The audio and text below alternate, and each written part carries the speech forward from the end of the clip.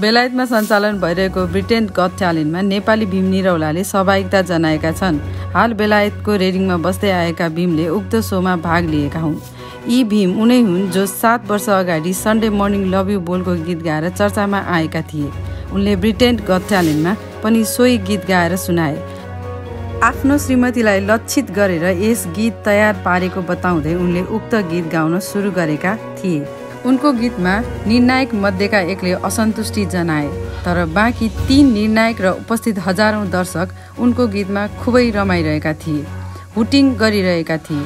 कार्यक्रमका सञ्चालकहरू त उनीसँगै नाच्नको लागि स्टेजमा नै पुगेका थिए। ब्रिटेन गट ट्यालेन्टमा उनी अहिले छनौट भएर भाइरल भएका छन्। सात वर्ष अगाडि यसै गीतबाट भाइरल बनेका भीम अहिले पुनः सोही गीतका कारण भाइरल भएका छन्। सामाजिक सञ्जालमा अहिले भीमको खुबै चर्चा छ। चौन्न वर्षीय भीम पेसाले होटेल म्यानेजर हुन्।